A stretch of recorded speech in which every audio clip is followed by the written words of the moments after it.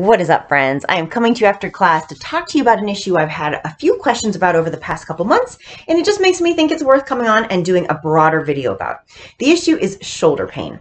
Now, I am not a doctor, and I'm not a physical therapist, so I'm not coming at you with consultation or advice in either of those capacities. Let's just be clear. But I am a layperson with some understanding of the shoulder joint and the body, and hopefully this video will just help you be a little bit better informed in your own exploration of your pain and in possibly being better equipped to ask questions of the medical professional in your life to get to the root cause of the pain you're experiencing. This also might just be important to help you prevent pain, which would be make me very happy. okay, so the issue is really first and foremost understanding the shoulder joint. We have to understand the component parts. And I'm going to go pretty fast and pretty superficial here, but hopefully this big picture will give you enough leads to follow up and of course ask me questions below and I will make something more detailed on more nuanced pieces. Okay. The shoulder joint is made up of your shoulder blade and your upper arm.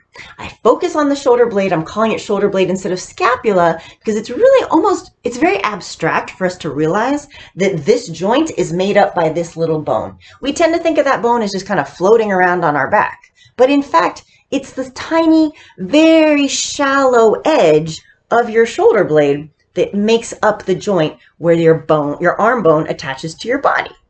So anything you want to do with your arm implicates your shoulder blade and anything you want to do with your arm that takes any type of strength really implicates your shoulder blade because you don't want to be doing that exercise with just hand muscles. You want to be doing that with the muscles of your trunk, of your body, of your core. All right. Otherwise, this joint, like we said, it's in a very shallow socket it is going to be vulnerable and it's not muscularly supported movement. So a few things to think about. The shoulder blade has a large range of motion. It has a beautiful orbit up and down your ribs, around your ribs. It can tip forward and back. It can scoop under and down.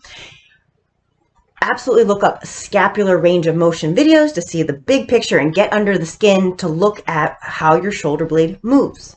For every position of your shoulder blade, there are corresponding positions of your arm. Or the way I really should say that is for every position in the world that you want to put your arm, right? And Essentrics takes us through a lot of them, right? Because we're training and making sure we have good range of motion at this joint. For every position you want to put your arm, there is a corresponding position of your shoulder blade that makes that safe, strong, and stable for the joint. It's doing that in a few ways. Number one, it's positioning the bone, right? It's positioning the cusp of that joint that the arm bone is sitting in to satellite, to optimally maneuver, to then do stuff at that angle, right? To keep the joint centrated, right? Centered and aligned. Number one, part of that is happening with what we think of as the rotator cuff muscles, or call the rotator cuff muscles. They have more than just a rotational function in the body. They don't just rotate, but they help stabilize and they adjust to help keep that relationship intact. The rhythm, the relationship between shoulder blade movement and arm position.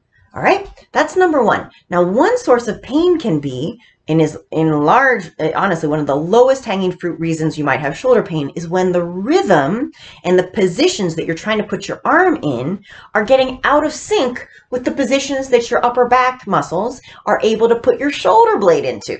Okay, so Here's what I mean. Here's a quick concrete example, and it might capture the pain you're having.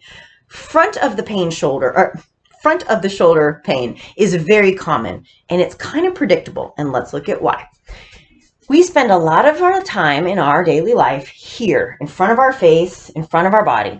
And my humerus, my upper arm, as opposed to like the rest of my arm, okay?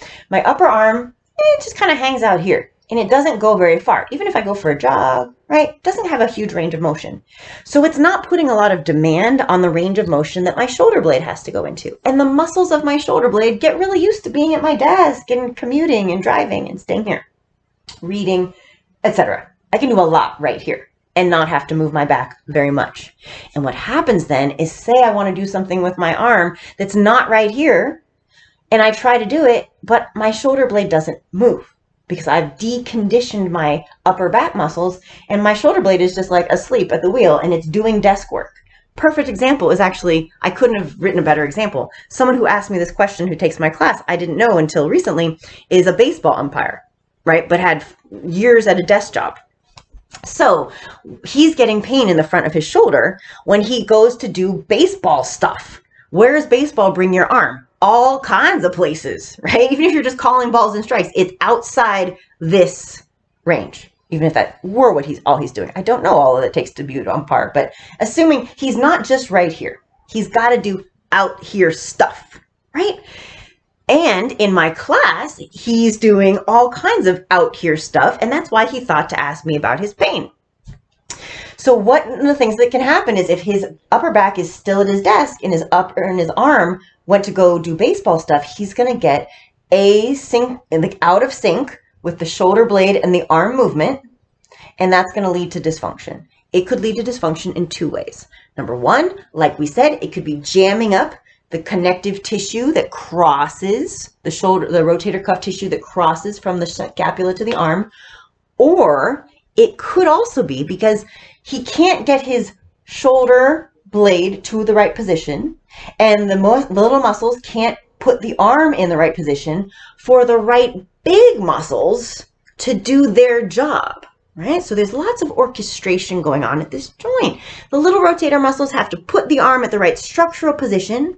Part of that structure is so that the bones are talking to each other. And part of that position is so that the muscles, the big picture muscles, your chest, your deltoids, your biceps and triceps, right?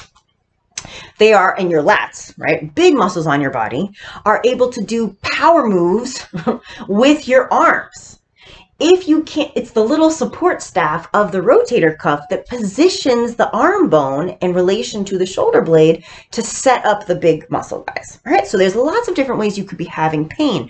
Part of it could be the connective tissue pain, and part of it could be stress on the joint because you're not able to recruit the right musculature for the movements you want to do. That's going to really come up for you if you're doing stuff over your head with weight or out to your sides with weight or carrying stuff on your arms with a lot of weight if you're not able to activate the muscles of your back to set up the right position of the alignment of that joint to recruit the big picture muscles, you could have pain. So I bring this up about the desk work because it comes up so frequently that we're doing this kind of stuff in our office job and then we want to do all the fun stuff in our daily life, let alone in Essentrics. So that could be a source of your pain.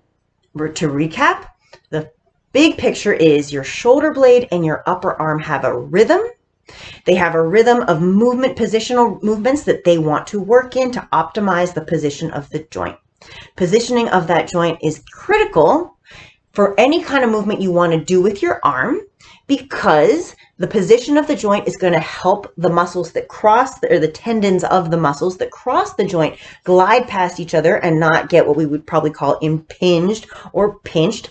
Different types of pain you experience is going to be indicative of different type of dysfunction. So that's one, just one type of dysfunction. Arthritis is a very common dysfunction. Also related, arthritis we know can be prevented by moving a joint through its range of motion. Well, if I don't move that joint through its range of motion and all I do is stay here in desk life, that is a very common source of arthritic pain, arthritic pain at the joint. Final piece is we could get pain at the joint from it being overtaxed and relying on those little muscles that are really just there to do positional work and then be like, all right, I clocked in, I position the shoulder blade and arm where it needs to be. Okay, big team, where are you? Where are you deltoids? Where are you biceps? Where are you lats? What are you doing? They are they are trying to get in position and they can't and so the big muscles can't come in and do the heavy lifting. And like so many times we have pain in the body it's when one muscle is being recruited to do the job of another right? And then that muscle rightfully complains because like that's not my job. And if it's little muscles doing the job of big muscles they're really going to complain because it's not their job and they're outmatched. All right? So big picture guys i hope this is helpful like I said, this is just the front of the shoulder pain is very common because of the specific dysrhythm that we get into when we go from desk to anything else, right? Anything that's outside of the range of motion of desk. But you could have pain in all different types of places and, and ways in your body. I've just presented the lowest hanging fruit as I see it. I hope it's useful to you. If I've triggered any questions that you would like further elaborated on, please let me know. Otherwise, if this has been helpful, also please let me know. And I really hope it was. See you in class or see you otherwise online. And here's to getting out of pain in general, and here's especially to getting out of shoulder pain.